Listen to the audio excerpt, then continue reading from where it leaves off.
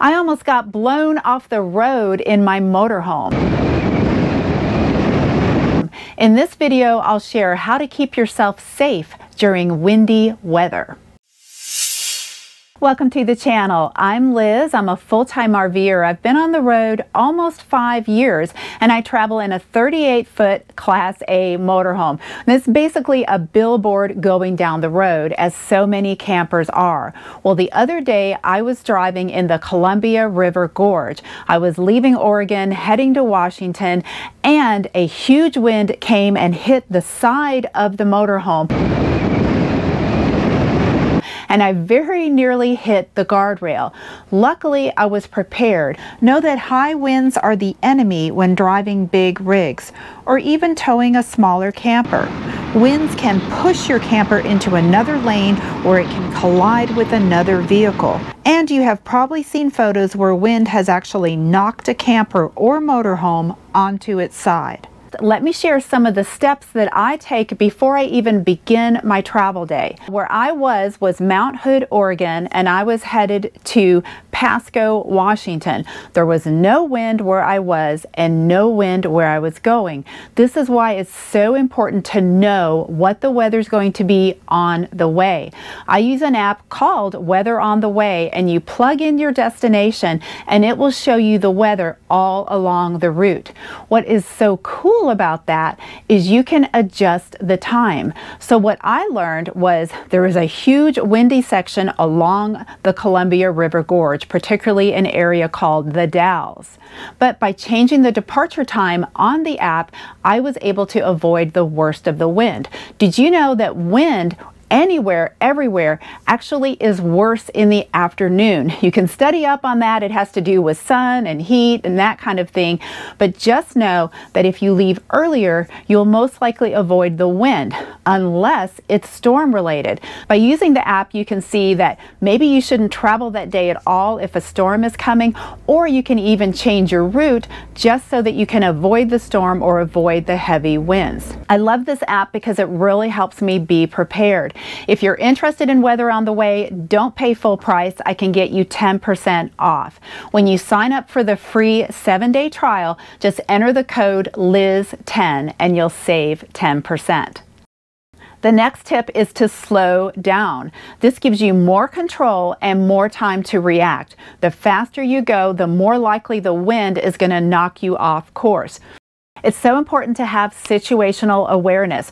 While you're driving, pay attention for signs of wind. Maybe the big truck in front of you is being tossed about by the wind. Are there flags that are blowing fiercely in the wind? What about bushes and trees? Notice them. Now, if there are no bushes and trees, if it's totally open, that can be a sign that this is such a windy area that no trees can grow. Also look for wind turbines. That's definitely a sign that you are in a windy area. Be especially aware during curves. When you change direction, you may not be aware that the wind is behind you and now suddenly it may slam against you. Same thing with bridges and tunnels and when you come over a hill.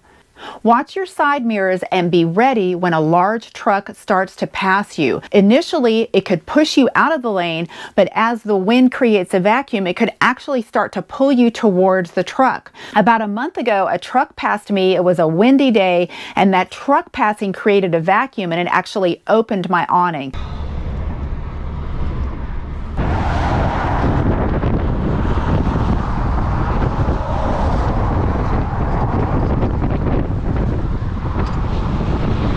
So that was a little scary.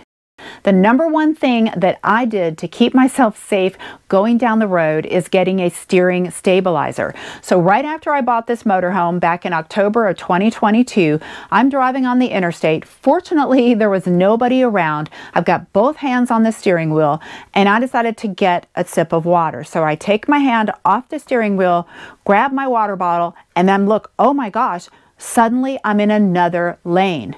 That's why I knew I needed to get a safety steer. What a steering stabilizer does is exactly what it sounds. It keeps your wheels going down the road. And if you do make a turn, it will kind of spring it back so that you're going straight. A steering stabilizer will help you if you have a front tire blowout. It will help you when a truck passes and you have the wind pushing. It will help you retain control of your motorhome or your camper. It keeps you stable going down the road. And it will help you if something happens to you like happened to me the other day and a big wind comes and hits you on the side, it will help keep you in your lane. Now they make them for all different sizes. Safe-T-Plus, which makes mine, makes stabilizers for heavy duty trucks, buses, pickup trucks, SUVs, camper vans, Class C motorhomes, and even passenger cars. Now I went through a little bit of a learning curve with my steering stabilizer, so I'm going to share that with you, so hopefully it won't be as much trouble for you as it was for me at first. But alright, so we're going straight, we're going to let go, and it just wants to change lanes, it just wants to go left. After I got my steering stabilizer installed, I took it for a test ride, 45 miles an hour,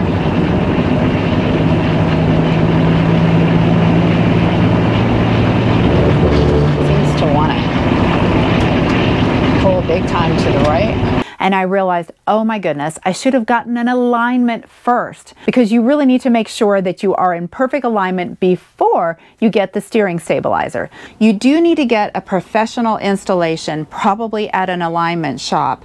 I had mine installed by a mobile RV tech. Whoever installs it, make sure they have experience. And even so, they likely will not get it right the first time. Prepare to go on a few test drives and allow time in your schedule for a return visit for an adjustment. I would not recommend using a mobile RV tech unless they've had experience installing steering stabilizers. Luckily, mine had installed several previously and usually got it right the first time. He ended up adjusting mine three times and it still wouldn't drive straight. If I let go of the steering wheel, it wants to steer right. Finally, I figured out I'd had a bad alignment. The original shop did not do a good job. I ended up going to a different place and getting another alignment. So I highly recommend you go to a really good shop, make sure that you're well aligned before you do a steering stabilizer. After that, it's a breeze. It has really helped me so much be safe on the road.